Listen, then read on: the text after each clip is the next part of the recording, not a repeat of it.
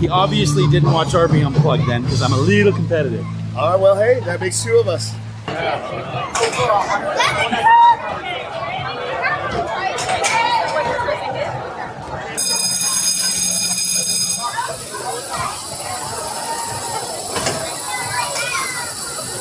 Don't swing.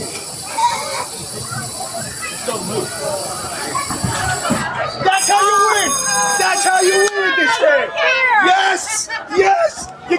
Win with style and dignity around here. I gotta win with dignity. Oh, what the heck? I'll take that bear, please. Right?